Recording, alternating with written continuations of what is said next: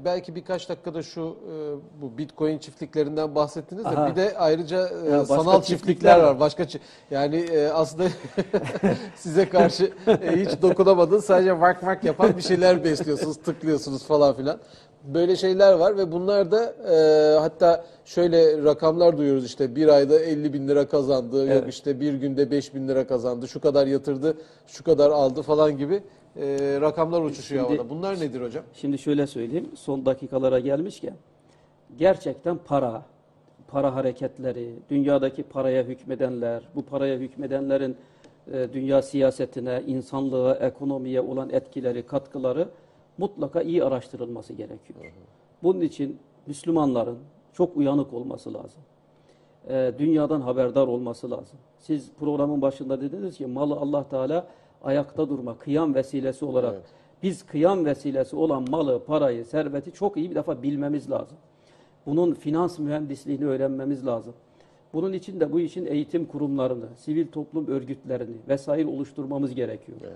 Bu anlamda e, sizin sorunuza geleceğim ama burada e, açıkçası dertli olduğum bir şeyi de sizinle Buyurun paylaşmak buyurun, istiyorum. buyurun.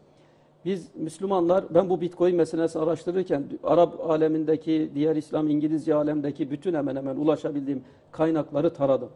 Fakat düzgün bu konuda yapılmış hiçbir çalışma yok. Bulamadım. Neden? Çünkü bu konularda zayıfız. Bu konularda güçsüzüz. Eğitimimiz yok. Ondan dolayı bizim bu konulara özel önem vermemiz lazım. İşte bu minvalde mesela biz, burada ben açıkçası izleyicilerle de paylaşayım bunu. İslam İktisadı Araştırmaları Derneği diye bir dernek kurduk. Hedefimiz zaten buydu. Bu tür çalışmalardı. İslam İktisadı Araştırmaları Derneği Evet. kısa adı Ee, iktisat, İktisat iktisat diye kurduk. Ee, Dolayısıyla olsun. buradan ben açıkçası bu tür konulara meraklı olan, illa bu tür değil, yani İslam'ın iktisadi hayat için e, getirmiş olduğu e, sistemi, düzeni öğrenmek, kavramak, insanlığa yeni ışıklar, efendim yeni yollar açmak, bu konuda eksikleri, yanlışları görmek ve insanlığa göstermek üzere açıkçası ben bu derneğimize maddi, manevi her türlü katkıyı bekliyorum. hocam e-mail adresi falan var mı? Nasıl ulaşacak? İktisat.org İktisat.org Evet, adresinden bütün iletişim adreslerine girebilirler tabii veyahut da işte bir şekilde size bize ulaşabilirler. Tabii, Siz tabii. bize havale edebilirsiniz. Dolayısıyla bu bu konu önemli. Biz bu konuya e, Süleymaniye Vakfı olarak ayrıca İktisat Derneğimiz olarak bu konuya baş koyduk. Bunu e, işte bu dediğiniz çiftlik, bank, diğer banklar falan filan bunları da bu masada yatırıp iyice bir araştırmamız gerekiyor ki her ne kadar bu dernek yoksa yokken de zaten biz bunları yıllardır Yapıyoruz. yapıyoruz. İşte şimdi Süleymaniye Vakfı'nın Fetva.net sitesi var malum. Evet. Oraya çok soruda soru, soru geldi. Aynen çok sayıda öyle. soru Her geldi. gün hemen hemen bu bu Gelen konuyla sorulardan mesela birkaçı şuydu. Yahya Hoca bıktı bu sorulardan hocam. Evet. Soru şu. Diyor ki hocam diyor benimle şöyle bir anlaşma bana vaat ediyorlar. Bilgisayarın açık duracak. Örneğin günün belli saatlerinde ve sen o bilgisayarının hard diskini, sistemini bize efendim e, endeksleyeceksin, bağlayacaksın ve oraya örneğin her gün 100 tık orada bir takım site var. Oraya 100 tık vuracaksın. 100 tık vurursan işte tık başına şu kadar bir gelir, şu kadar para kazanacaksın. Ne kadar fazla tıklarsan o kadar fazla gelir elde edeceksin. Bu caiz midir? Allah Allah. E caiz değildir. Ama neden? Yani tıklamak kötü bir şey mi? Ya Allah Teala buyuruyor ki batıl yolla mal yemeyin. Bu batıl bile değil. Ya oyun, oyun. Aynı tür sorular efendim şöyle bir bank var. Bunların başına tavuk bank oluyor, dana bank oluyor, çiftlik bank oluyor, şu bank oluyor, bu bank oluyor. Efendim şöyle bir bank var. İyi. Burada sistemde, sanal ortamda efendim tavuk besliyorsunuz. Efendim civciv besliyorsunuz. Efendim bunlar yumurta çıkarıyor. Yahut da dana besliyorsunuz. Ama yani Bu hiçbirini dana- yiyemiyoruz, Ha, kesemiyoruz. Bu dana büyüyor, süt veriyor.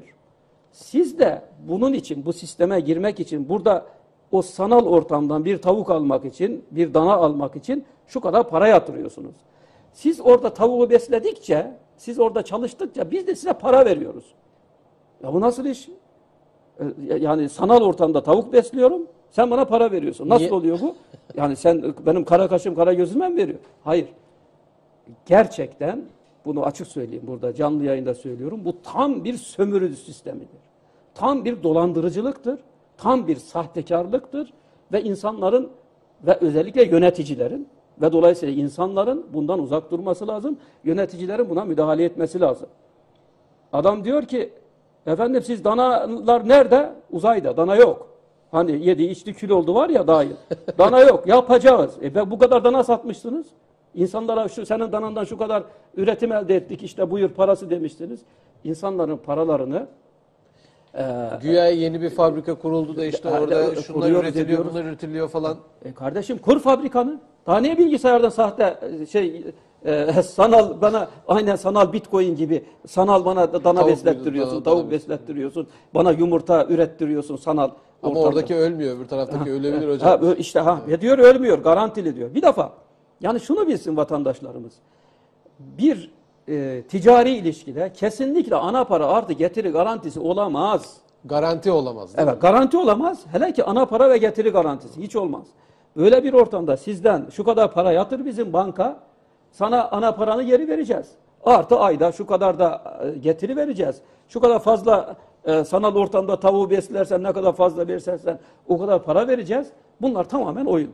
Bunlar kumar, sahtekarlık, sömürü, e, insanların mallarını işte Kur'an-ı Kerim'deki Nisa 29'daki batıl yollarla yeme olayı. Çünkü bu paraları topluyorlar.